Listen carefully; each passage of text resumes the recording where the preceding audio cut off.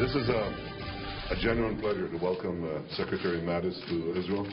I've heard a lot about him, read a lot about him, um, and I, I, think this is a, a propitious um, moment.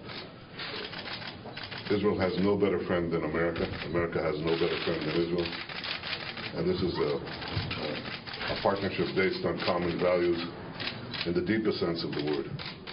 Uh, we sense uh, a great change in the direction of American policy.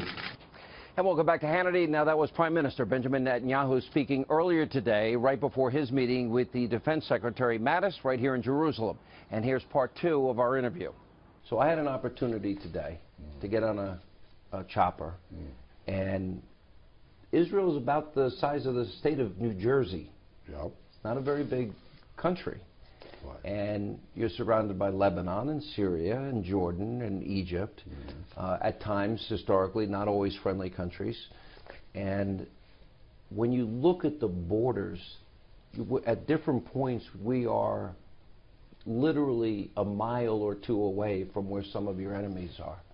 Do you think most people understand the security concerns here? Probably not, because it's hard to imagine. You just have to compress the United States to, as you said, the size of New Jersey, and then put in a lot of uh, militant Islamists with uh, short range, middle range, long range weapons, suicide uh, bombers uh, trying to cross into your territory, uh, terror tunnels being dug into you. So obviously Israel has uh, security challenges unlike any other country. But Israel is unlike any other country because it's New Jersey, but it's New Jersey with F-15s and F-16s. And bigger.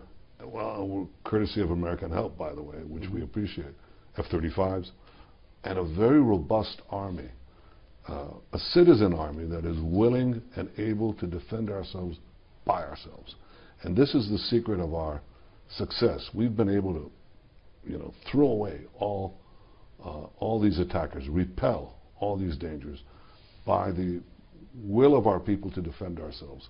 But in so doing, we've found partners in the region because they're being attacked by the same militant Islamists. And they realize that Israel is not their enemy, but their crucial ally in warding off the same threats. So yes, Israel is small, but Israel is powerful. Uh, Israel is attacked, but Israel is able to defend and occasionally attack our offenders maybe an unintended consequence. And I remember the speech that you gave before a joint session of Congress. I know at the time President Obama was not exactly happy with it, but I thought it was one of your more powerful speeches mm. that I had seen. But maybe an unintended consequence of this bad Iranian deal, and I concur with your conclusions about this, the nuclear armed Iran is A squared, B squared, C squared, radical mullahs, weapons of mass destruction, threaten, threatening to wipe Israel off the map is not a consequence the world should ever see. I'm threatening you. And, and all your allies. Well, we're the, we're the great Satan. Right. You're the little Satan. We're, we're the close by. We're the, you're, you're the close. We're the closer Satan. Right. We're we're the we're a mini United States right here in the Middle East. Well, the only democracy in the region. The West stops the, here. The West stops here. So my my question is this: as an unintended consequence, there seems to be maybe an alliance that a couple of decades ago wouldn't have been possible right. with the Saudis, the Jordanians, the Egyptians, as they fear Iranian hegemony and a nuclear armed Iran here. There's no question that the deal with Iran, which paves the way to eventual Iranian acquisition of the critical elements of nuclear bombs, a nuclear arsenal, something we don't accept and never sign on the deal. And we won't let happen. But because many in the region are threatened by that same Iran and would be immeasurably threatened more by a nuclear armed Iran, that has brought a lot of the countries in the region to a different thinking about Israel.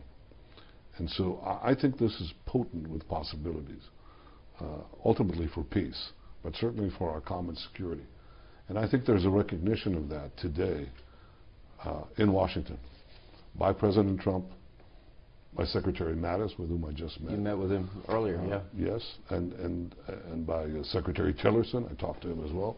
I- I think we realize that we face common challenges. And the greatest challenge is the challenge of, uh, challenge of militant Islam of both kinds. The Shiite variety led by Iran, the Sunni variety led by ISIS. Of the two, both have to be rolled back and defeated. But of the two, the greater long-term danger is from Iran. It's a country of 80 million. It's got oil.